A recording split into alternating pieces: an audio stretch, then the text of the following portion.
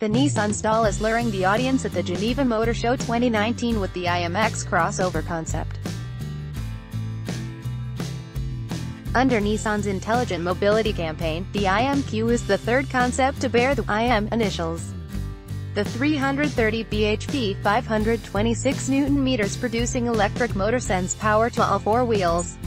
Based on what can be seen, the IMQ concept gets Nissan's V-Motion grille. The boomerang-shaped taillight design adds to its overall aesthetics. The lower body cladding is made up of black ridges called lamellas, traditional Japanese design. The concept vehicle gets cameras in place of rear-view mirrors and large 22-inch wheels. As for the interior, the Nissan IMQ concept gets a massive 33-inch screen in the instrument panel that provides information on the car's functions, while a smaller screen on the second stack is said to host the IMQ virtual personal assistant.